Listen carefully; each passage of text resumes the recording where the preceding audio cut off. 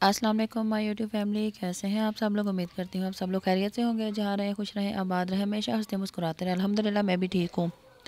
آج میں آپ لوگوں کے ساتھ جو طریقہ شیئر کرنے والی ہوں، وہ ہے ایک وکس۔ میرے پاس یہ پڑی ہوئی تھی، ٹھیک ہے؟ تو میں تو یہ یوز کرتی ہوں، تو میں نے سوچا آپ لوگوں کے ساتھ بھی اس کو شیئر کر دوں۔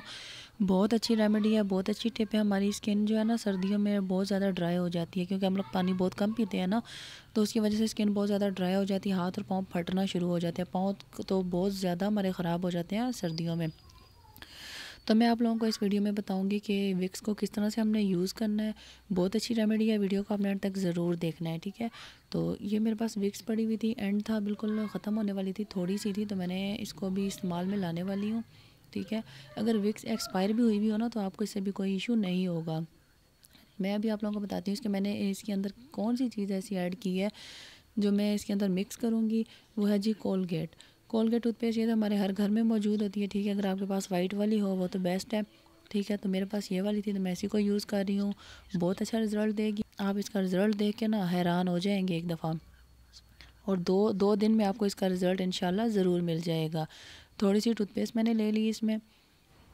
بالکل تھوڑی سی ٹوتھ پیسٹ میں نے جتنی وکس تھی، اسی حساب سے میں نے اس میں یہ ٹوتھ پیسٹ ڈال لی ہے۔ اب میرے پاس یہ پڑا ہوا تھا۔ پلاسٹک کا ایک چمچ کوئی بھی آپ سپون لے سکتے ہیں۔ ویسے آپ جو یوز میں برتن ہو نا، آپ وہ نہیں یوز کریں کیونکہ جو وکس کی سمیل ہوتی ہے نا، وہ کافی دیر تک رہتی ہے، وہ جلدی جاتی نہیں ہے، ختم نہیں ہوتی۔ تو یہ پلاسٹک کا ایک چمچ ہے، یوز میں نہیں تھا، تو میں اس چیز سے اس کو اچھی طرح سے مکس کروں گی۔ ویڈیو آپ نے اب تک ضرور دیکھنی اور ایک اچھا سا کمنٹ کر کے بتانا ہے کہ آپ میری ویڈیوز کہاں سے دیکھ رہے ہیں تاکہ میں آپ لوگوں کو تھینکس بول سکوں۔ اس کا رزلٹ آپ کو صرف اور صرف دو دن میں آپ کو اس کا بہت اچھا رزلٹ ملے گا۔ آپ نے اس کو گھر میں ٹرائی ضرور کرنا ہے اور مجھے اس کا فیڈ بیک ضرور دینا ہے۔ ویڈیو کو بھی سے لائک کر دیں، پھر آپ لوگ اینڈ پہ لائک کرنا بھول جاتے ہیں۔ چینل پر نہیں ہوا تو چینل کو بھی سبسکرائب کر، سبسکرائب لازمی کر لیں۔ اس کو میں نے بہت اچھی طریقے سے مکس کر لیا۔ میں آپ لوگوں کو بتاتی ہوں اس کو لگانا کس طرح سے ہے۔ آپ اس کو اپنے ہاتھوں پہ بھی یوز کر سکتے ہیں اور آپ اسے اپنے پاؤں کی اڑیوں پر بھی یوز کر سکتے ہیں۔ ہاتھوں پہ لگانے کا تو طریقہ یہی ہے کہ آپ اسے کسی بھی ٹائم ہلکا سا تھوڑا سی لگا کے آپ اسے اچھی طریقے سے اس کے اندر جذب کر لیں ہاتھوں پہ لگانے کا طریقہ تو یہ ہے۔ ویسے بیسٹ ٹائم جو میں آپ لوگوں کے ساتھ شیئر کروں گی، وہ رات کا ٹائم ہے۔ آپ اس کو اگر رات کو لگا کے چھوڑ دیں نا اوور نائٹ کے لیے تو تو آپ کو رزلٹ بہت زبردست ملے گا اس کا۔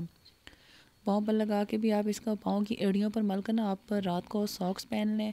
ایڑیوں پر اس کو لگانے کے بعد آپ ساکس پہن کر رات اوور نائٹ کے لیے آپ اسے چھوڑ دیں۔ جب صبح کو آپ اٹھیں گے تو آپ نے اپنے پاؤں کو نیم گرم پانی سے دھو لینا ہے واش کر لینا ہے اپنے پاؤں۔ اپنے ہاتھ اور پاؤں، ٹھیک ہے؟ اچھے طریقے سے پاؤں پہ بھی آپ مل سکتے ہیں۔ دیکھا بھی بالکل بھی نظر نہیں آ رہی اور نہ ہی محسوس ہو رہی ہے کہ کچھ ہمارے ہاتھ پہ لگا ہوا ہے۔ اسی طرح آپ نے پاؤں کی اڑیوں پر لگا کے اوور نائٹ کے لیے چھوڑ دینا ہے۔ دو سے تین دن میں آپ کو اس کا رزلٹ بہت اچھا مل جائے گا۔